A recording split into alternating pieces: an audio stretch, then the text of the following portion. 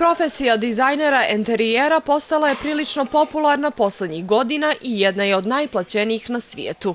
Ovaj posao nudi razne mogućnosti i izazove, pa je kao takav privukao Minju i Mariju, koje su učenice trećeg razreda Srednje građevinske škole u Podgorici.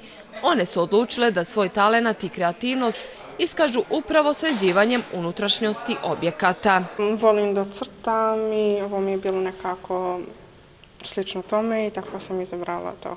Ja volim da dizajniram eh, i to mi se sviđa i volim da crtam. Kako bi svoj talenat iskoristile na najbolji mogući način, Minje i Marija redovno pohađaju časove praktične nastave na kojima uče i različite tehnike neophodne za njihovo buduće zanimanje. Cilju istraživanja špatulata tehnike nanošenja slojevitog eh, na unutrašnjim zidovima u različitim nekim inovativnim postupcima istražujemo u mogućnostima Eh, različitih dekorisanja. Eh, prosto svako ko ima afiniteta i volje za određenim umjetničkim ovaj, poslovima, pa i ove vrste, eh, može isprobavati i na neki način ovaj, doprinositi svojem ličnom iskustvu, u nekom smislu i biti koristan, pa u krajnjem ovaj, i u svojim objektima. S druge strane, kod dizajnera interijera je vrlo korisno da u praktičnom smislu ovladaju određenim tehnikama kako bi ovaj, sutra prilikom nadzora na izvođenju radova u interijeru bili od velike koriste i samim majstorima, od pomoći jeli, investitorima da predlože, da znaju i postupak i e, vremensko ograničenja i način na koji može da se jeli, izvede različite tehnike, različite mogućnosti. Malo složenije tehnike zahtijevaju i više vremena, također su skuplje u samom izveđenju, ali i to se može pojednostaviti.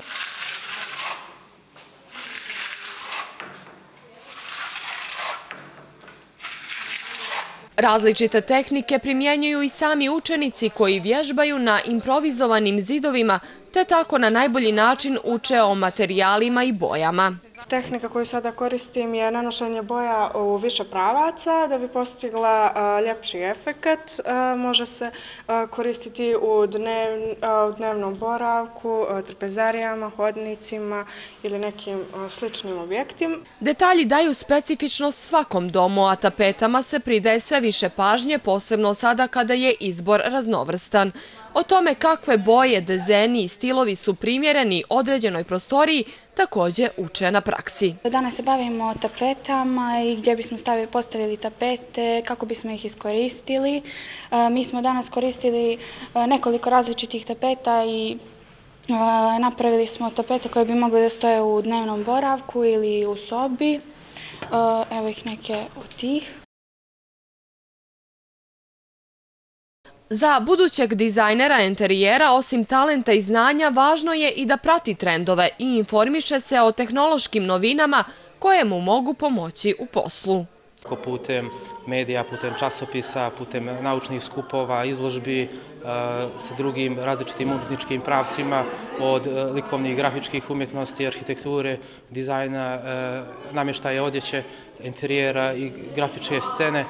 Sve je to na neki način povezano i dajem ovaj, jedno široko shvatanje ove ili e, recimo nauke koja, koja u kreativnom smislu može svakog pojedinca da istakne u društvu, tako da je individualan pristup najvažniji, i njihov rad i, i strpljenje i uspjeh će biti zagarantovan.